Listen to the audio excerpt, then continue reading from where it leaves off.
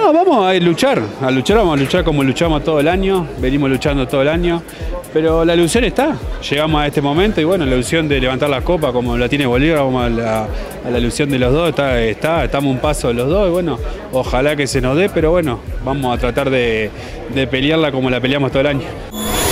Bueno, la primera sensación que tengo es alegría, de alegría por mis compañeros. Yo llegué en un momento eh, no tan bueno, pero bueno porque sé lo que pasaron al principio de año. Fue un año muy duro para el club y esto no tiene que sacar lo que fue, para, lo, que fue duro para el club. Llegar a la final, no, no nos olvidamos de lo que pasó. Y gracias a Dios pusimos a, a Wisterman donde, donde se merecía, la verdad. Y por algo llegamos hasta acá llegamos hasta acá luchando, peleando, sacrificándonos y bueno, estamos un pasito.